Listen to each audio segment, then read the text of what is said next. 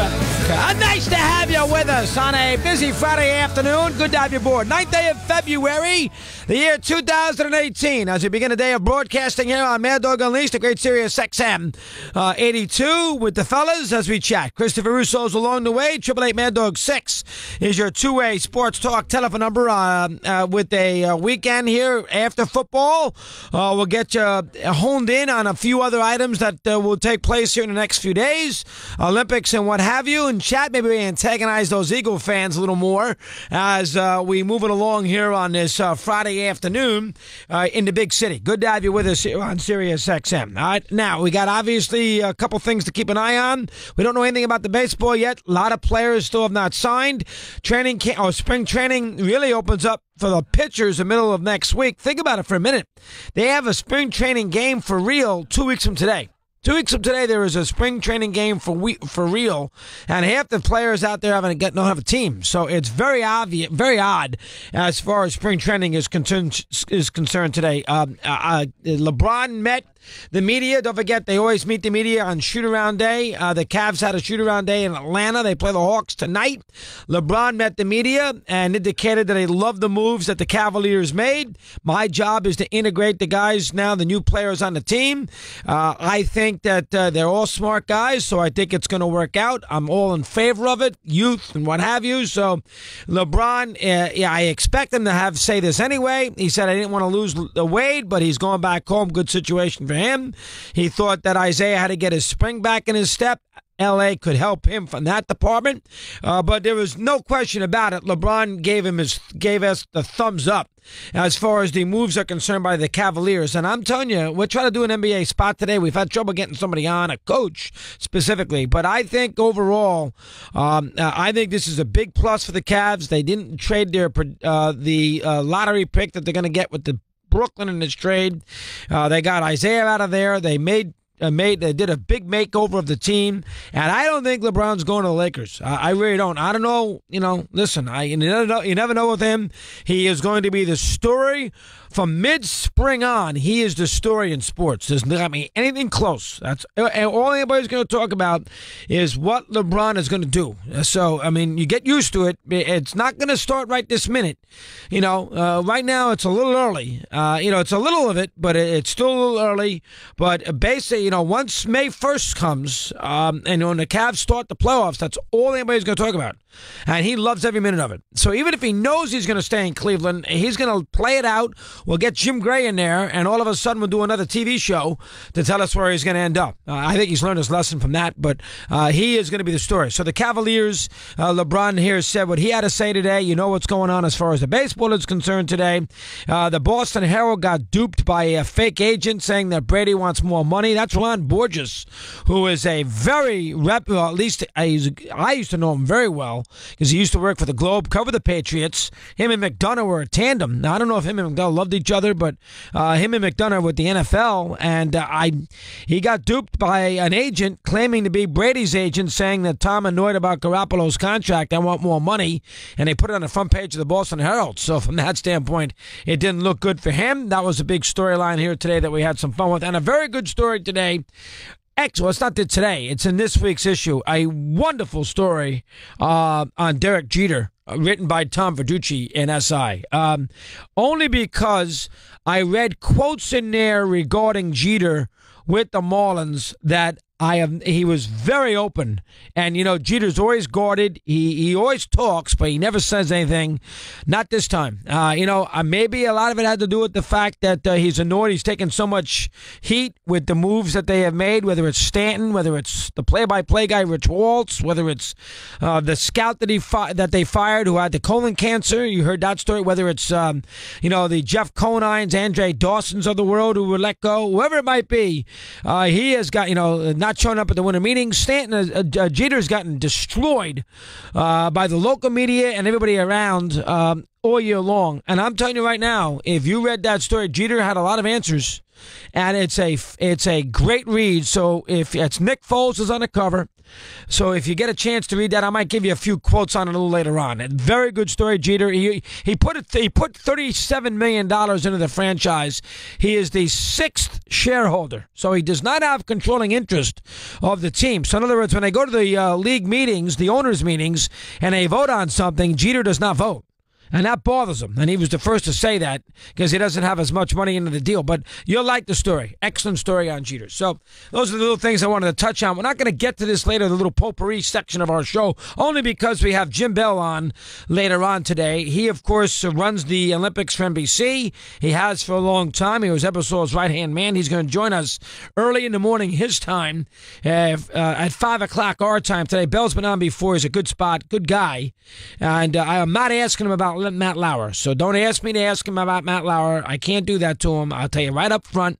You know, Bell worked with Lauer forever and ever and ever. So you're going to ask me to ask about Lauer. This is not why he's coming on to break to break down Matt Lauer and sexual harassment and what they knew and did not know. I can't do that. So, uh, so uh, that, that's a journalistic lesson one on one. If I do a spot on the Olympics, I can't sandbag the guest and say, by the way, before we get there and the luge, let's break down the buzzer on Matt Lauer's door. Uh, you know, in the office. I, I, I, am not doing it, so I can't do it to him. So from that standpoint, it's going to be an Olympic spot, Olympic spot only. Now I'll get on him about the Olympics because that's where we're going to begin on this busy program here today. Uh, you know, it's funny. The Winter Olympics is the it, it, the Summer Olympics has still got some juice because they got a lot of sports, much more involvement with the nations, uh, a lot more countries involved, and everything else. The Winter Olympics is much more of a specialized scenario. Um, you know, uh, a, a, lot of the uh, you know uh, Jamaica does not have a ski team. All right, so from that perspective, it's a it's a, it's a different it's just not as well attended, and it, it's a more of a niche scenario than anything else. You know, curling, you can't get more niche than that, right? So from that perspective, it it it, it has trouble anyway uh, in some areas finding its, you know, place in the Olympic deal. Uh, and I think this year it's going to have more trouble than they are used to. And I think NBC, now they're going to claim and if you heard Lazarus on, uh, you know, at the Super Bowl, I mean, they are going to claim that they are going to do a phenomenal bang up job uh, with ratings and everything else. First off, uh, and they probably are not wrong. Um, it's on in February. There is nothing on television that you need to watch. Uh, you do not need to watch. There's no football you need to watch. There's no uh, basketball. You do not. You do not need to watch the All Star game. There's no hockey you need to watch. There is nothing that you have to watch in any sport tennis, golf, you name it. There's nothing in this month. Nothing. That's why they put it here. All right, they're not putting it in January with NFL playoffs. There's nothing that you'd have to, you know, that's going to take your attention away from a from a television perspective. So, um, they will probably still do a lot better than you and I think. Um, you know, I love to see them bomb in a lot of ways. They spend so much money on it, but they probably will do better than you think. First of off, you can't put on NBC beginning really today and not see something with Olympics, whether it's cable or whether it's NBC, whether it's Good Morning America, uh, whether the Today Show, whether it's the nightly news, Lester Holt. I mean, you cannot there's nothing else. I mean, it's it's all Olympics all the time. They're going to send a whole crew there from the Today Show's going to be there. They got uh, Katie Couric there already. I mean, everywhere that you can turn around on the NBC forum, it's the Olympics. And then throw in the idea that they own they own MSNBC, they got NBC Sportsnet, they got CNBC, they got Bravo, they got USA. I mean, you cannot, under any circumstances, flip on an NBC channel and not have the Olympics. So because of that they are going to get plenty of eyeballs to the sets because of that. The fact of the matter is, is that they are going to have people stop by and check it out, quote unquote, which is what the vernacular is today. Because you know, anywhere you turn, you're going to see the anything on the NBC properties, you're going to see Olympic stuff. So you're almost going to be drawn to it from that perspective. So that's the first thing. So they're gonna have they're gonna get their they're gonna get their ratings. They're gonna hit their target numbers, whether we like it or not. And again, I love to see them bomb, but they're gonna hit those target numbers. Now that's the first thing. Second thing is they're gonna get a little window here with the time difference. You know, you you you if you're gonna be a long way away from uh, America. I remember America is the United States is the one who pays all the money for the rights fees. Right? Canada doesn't pay any money. Europe doesn't pay any money. The, all the money the IOC gets from rights fees, whether it's television, whatever it might be, comes from us.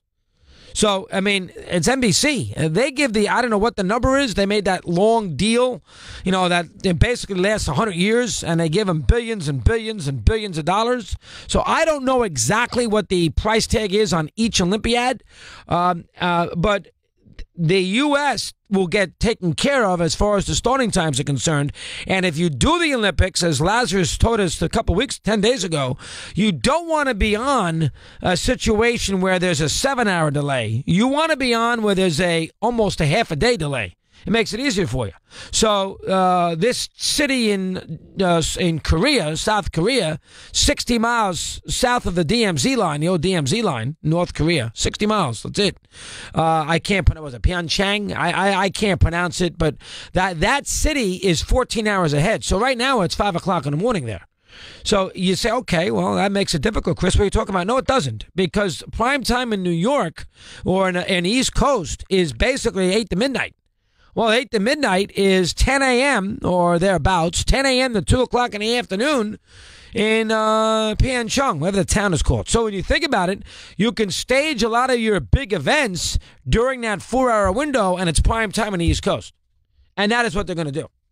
So the skating will probably be stuck in a, you know in a weird time slot. The skaters to have to get up at uh, six o'clock in the morning to get ready uh, for the you know uh, whatever final they may have at one o'clock in the afternoon because they're going to try to accommodate NBC as much as they possibly can. So the actual time difference, although listen, you're not going to see the hockey between ten o'clock at night and midnight. I, that you can write down, but for the big events that they love to show you, which is skiing uh, and really skating. Every sort of, you know, their skating is like gymnastics. I mean, the winter version of the gymnastics and swimming is skating.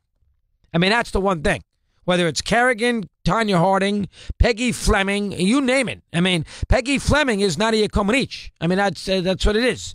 That is what they are going to sell their prime time on on a night to night basis. Is that skating? And that prime time is going to be 10 o'clock, and the delay is not going to be as bad as you think. Now, tonight, if you're into it, which I will not watch, but it, tonight with these opening ceremonies, well, that's already been done.